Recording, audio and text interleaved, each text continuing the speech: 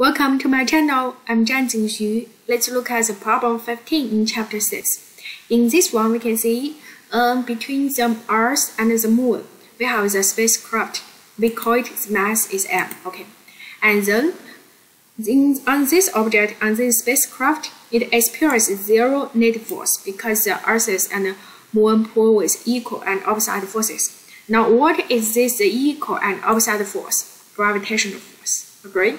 So first one, the gravitational force between this uh, M, this spacecraft with the moon, and also the gravitational force between the Earth and the spacecraft. These two forces are equal. This is a problem tell us. So how can we write them? Very clear.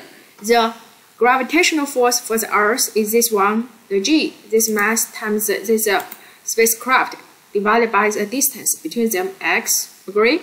And then the gra gravitational force between this spacecraft with the moon is this g, capital G times this moon's mass times this mass divided by distance squared. Now we can solve this equation.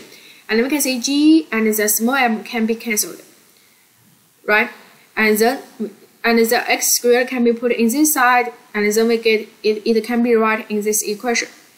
Now we need to find this x, so we need to solve this equation. And we can see this is a constant.